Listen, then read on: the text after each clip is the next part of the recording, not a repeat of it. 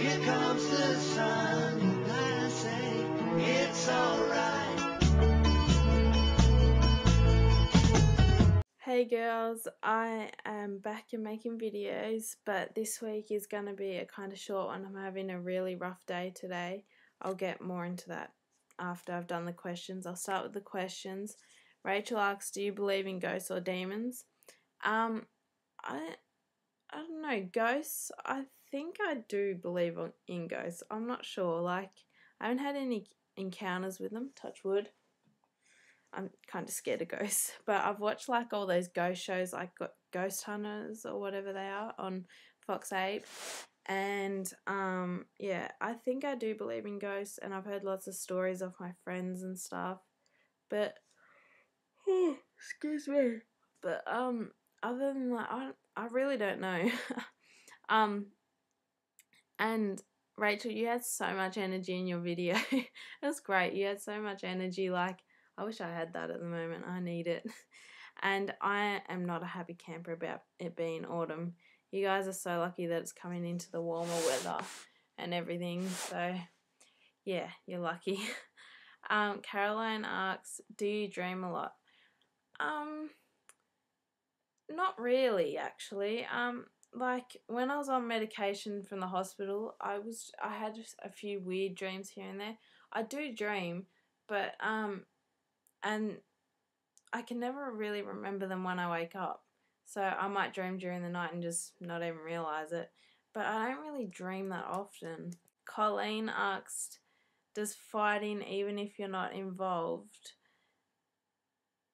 affect you symptom wise? Sorry, I just read that wrong. um, yes, it does. Like, I get really agitated easily. So, like, even if I don't even know the people that are fighting, it sets my symptoms off. Or if it's my parents, you know, like that obviously affects me a fair bit. But yes, it does affect me. I'm putting this on. Sorry, I like this song that's on. Um, um, what was I going to say? And your other question was Have you found that since you have gotten sick, your schoolwork has gotten harder to handle? Well, I don't I'm finished school, so.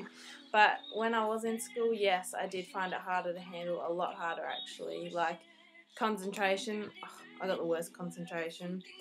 Um, and just, I just found things more difficult. But yeah, and oh my god, when you said you had your period since, you've had your period since Christmas Eve, like, what the hell? That is not, that is like, that's a nightmare. That is so bad. Like, how does that work? That is crazy. Oh my god. I feel so sorry for you. Um, and it was so good to see you back making the video. Um, Emily asks, what do you think about your healthcare system? Our healthcare system is pretty good. I don't really know that much, like all the small details and all that, but from from the way I see it, I see it's good. It works well. But yeah, so we've got a pretty good healthcare system. And Olivia, I am in the middle of watching your video right now. But I loved the intro you did with the subs. That was very creative, very cool. Um, so I'll get to your question once I finish watching the video. Olivia's question was, do you have, well you kind of had two questions actually. Do you have Pancake Day? Um, I'm not sure. I didn't celebrate Pancake Day, but I'm pretty sure some people on Facebook were t- talking about Pancake Day, so which was yesterday because it's Wednesday here. Because we're yeah we got different days. I get confused, um, but I didn't celebrate Pancake Day. um, and you also asked if ever you put makeup on, does it temporarily temporarily flare up your POTS? No, not that I've noticed. I just chuck it on and go that's how I do it. But I don't really wear that much makeup.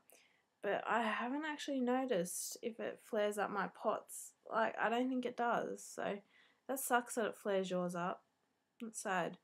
Um, but yeah, no, it doesn't do that to me.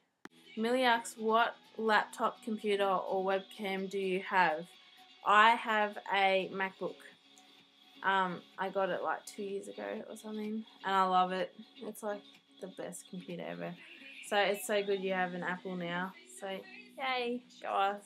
I think a few others on here have an Apple. I can't remember. A few of your other girls do. I don't know. Um, and I would love to be in a dysautonomia house. That would be so awesome. Like you just wouldn't have to stress because everyone would know what's wrong with you and everything. That would be great. Okay, now go to my week. Saturday night, I went to a party with Tegan. So that was a lot of fun. I only went for like an hour, but it was fun. We danced and all that, so it was good. Um, I think I have one photo on my Facebook from that night, and she was a bit tipsy. She had a bit too much to drink. Like she's legal to drink, obviously. And then Sunday, we had to get up at six something in the morning because I was working. Um, we had a fun run for one of the girls up here, Maya. She's so cute. She's like 11 or 12, and she's, oh, I just bit spit inside my mouth. Ow! oh! Oh my god. Oh. Anyway, she's paralyzed from the waist down. She was born that way. I think she had a tumor around her spine, and I don't know, she had a fair few things. She's so cute. So we ended up raising six, like six thousand, over six thousand dollars for her, for her to go to a program in Sydney. So that's very exciting. Um, my question for this week is pretty boring, but my question is, what is your favorite place to eat at? Mine is definitely TGI Fridays. Like I love that place, and like inside it, I don't know if you guys I don't even know if you guys have TGI. I think you have TGI Fridays. I don't know. But inside it's just like all this old stuff, like not old old stuff. Okay, old stuff. But it's like really cool. It's like all vintage stuff. It's just oh, I don't know. We wouldn't call it vintage. I don't know. It's just old stuff and it's really cool. But it's the best place to eat at. I love it. um and I have another question. When I went to the hospital when I was sick and everything, they were talking about me having a lumbar puncture done. You know the spine thing where they take spine spinal fluid or whatever. I was wondering if any of you guys have ever had that done, and does it hurt? And also, I have a question for Millie. I think. I think this question's for you. But um, I've heard lots of people talking about ports and stuff. Like, what exactly are they and what do they do? Like, I am so confused.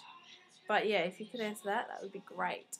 Um, now back to why my video is so short. Today I actually got the news that the gym I work at is shutting down. So I have lost my job. I have lost my apprenticeship. I'm nothing, like nothing at all. So um, I'm really upset because you know I had everything worked out and they're the only people that would take me on board being sick and everything. I'm working in the fitness industry. So now I've got nothing and I'm back to square one. But the gym closes on the 15th of April.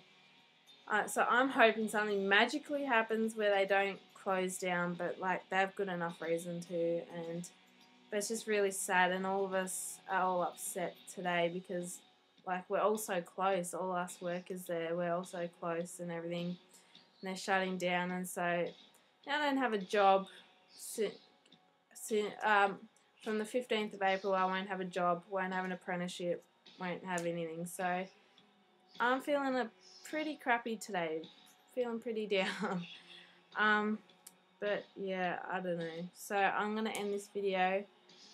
I hope you guys are all well, and I love you all, and I will see you next week. Love you, gals.